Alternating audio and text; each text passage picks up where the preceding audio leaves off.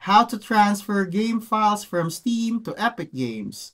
I'm going to tell you how or is it actually possible to transfer game files from Steam to Epic Games?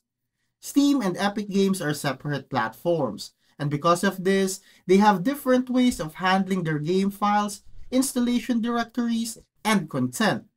This means you cannot directly transfer the entire game between the two platforms.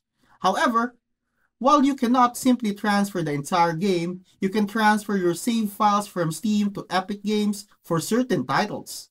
First, locate your Steam game save files.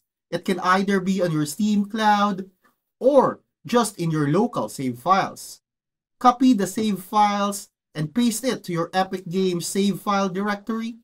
But keep in mind that not every game supports cross-platform save transfer. So you might as well check first if the game you're transferring supports this feature.